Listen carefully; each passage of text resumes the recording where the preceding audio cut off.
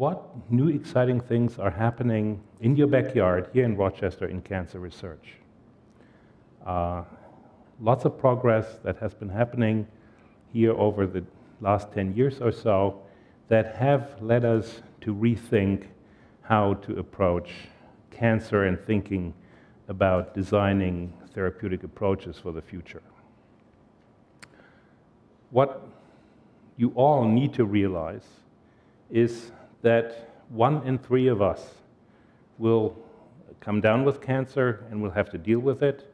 And many of you know that in each family we deal with these issues.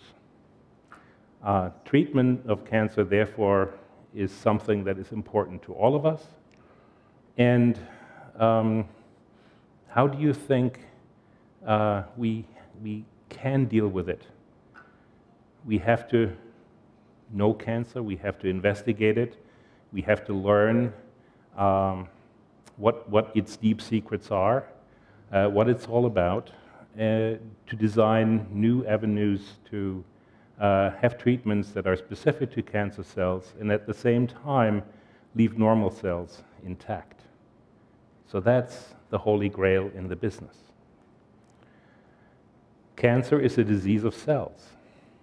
And um, cancer, as you see, is the result of a fundamentally complex transition in the behavior of cells from normal to cancerous. And cancer and cells, many of you may know, uh, are, are, very complex entities uh, that you could compare to uh, galaxies if you wish.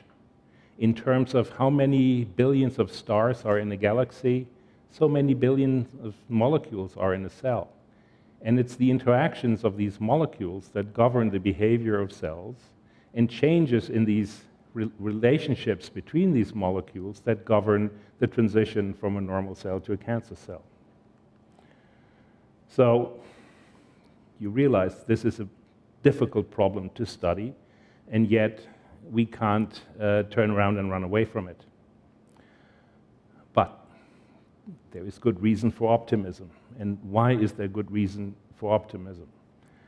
Uh, some decades ago, it became clear that cancer is caused by gene mutations.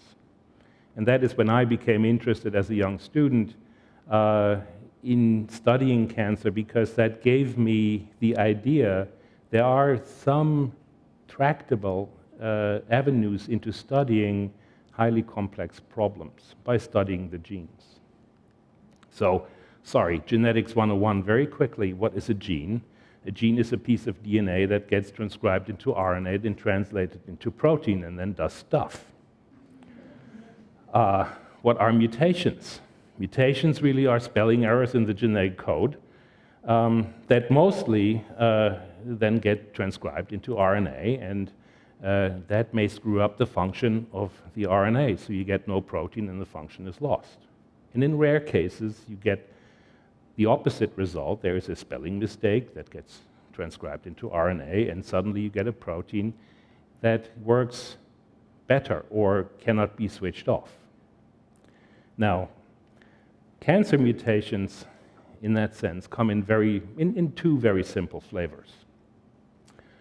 One mutation marks oncogenes. These are usually genes that stimulate cell growth, and the mutations will disable the, the capability of this gene, uh, or, the capability of the cell to switch these genes off. And they're tumor suppressor genes, which do the opposite. These genes inhibit cell growth, and mutations in these genes uh, make non functional genes, which in the end lead to uh, the inability of the cell to stop something from happening. So in the end, you end up with all lights on green for the cancer cell to be go, go, go, go, go, and be unable to respond to the environmental cues that rein it in as a social being. Okay, so now we have learned that cancer arises from oncogene activations and tumor suppressor inactivations. Very simple thing. So we should now know how to do something against cancer. And so we should think there should be rationales that we could use to deconstruct cancer cells because we have some rationale the other way around. How can it arise? Okay, so that has happened over many years and decades. Lots of people, lots of scientists have collected information and found that actually there are many, many cancer genes that are associated with cancer, uh, gain and loss of functions. And so one of the breakthroughs in, in the past 10 years was the, the recognition that even if you could stop a certain cancer gene from working, you could, could stop certain cancer cells from growing. And that was a very big thing that now has led uh, to the first drugs in the clinic that are working by that principle. There is only a little bit of a problem with that. So while this is a big breakthrough, this is not enough, and I'll explain why. So cancer arises in different cell types, um, in, many, in many different ways from, from different cell origins. Uh, and also, cancer will arise not when just one mutation occurs, but each cell that will become a cancer cell will uh, experience several cancer mutations that interact very strongly with each other, with the result that, like us, uh, every cancer is unique. And so that provides then another challenge uh, to generating precision treatments that we all want uh, in the cancer clinic. And so uh, if you then apply what I told you just before, that if you can really stop the function of one cancer gene, it will work, unfortunately, only in a few patients. Or if you take another one, it will also only work in a few patients, or again. So these approaches are not really covering uh, the need for, for treatments on a broad scale. So how can we actually conquer that type of a problem? And in that sense, we need a radical change in thinking how we approach this type of problem. And some very cool science and key discoveries have happened in your backyard uh, by several research groups here at the University uh, of Rochester Medical Center and at the Wilmot Cancer Center. So, what we discovered was uh, something in, in the end that, that should be obvious, but it was very hard to find in a way uh, like finding a needle in a haystack. And by really studying the relationship between these cancer gene mutations, we were able to find a very simple rule that allowed us to discover the genes uh, that drive these, these very big systems transition between normal and cancer cell.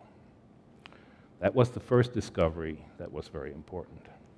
The next important discovery was that these gene networks that we revealed through our experiments were actually regulating uh, common hallmarks of cancer, such as unlimited growth and improved survival skills and altered cell metabolism. Uh, in that sense, then, that argues that uh, they're, they're common targets between lots of diverse cancer cells that one can use to design new interventions. And what came out of this work, and what is right now still coming out of this work, are individual genes uh, that, that are part of, of gene networks and that give us over the whole cell an architecture and landscapes of new intervention points. So now you can imagine if you have new intervention points that may be relevant to many different kinds of cancers, you can think about interventions that really uh, hold a lot of promise for, preci for precision, precision, cancer interventions um, that are based on, on properties that are shared between a lot of different types of cancer cells. And so now think about how cancer therapy may look in the future. You may target non-mutated driver genes. You may combine targeting multiple of these non-mutant driver genes, and suddenly you will hit many more cancers in many more patients, and that you can do uh, in different ways, covering now a much broader range um, of patients and, and really doing a much better job in providing precision treatments. So, uh, there is really good reason for optimism. We're very excited about this. Um, the research that has gone on to do this is really world class. Uh, we believe that these broadly acting precision cancer treatments will become a reality. Uh, that has been supported here by uh, local people that, that have uh, provided us support for this. Uh, the environment in the uh, Wilmot Cancer Center is phenomenal for this. The National Cancer Institute has given funds for this work. And um, this is very important, and we want you to know that this is happening here in Rochester and that really important and exciting things are happening here in Rochester. And last not least, what is most important in this are the people who do this, who make it all possible, who create that optimism, and who are brilliant minds, who all came to Rochester and who about 12 years ago weren't here, and who have come here to make that all happen. Thank you.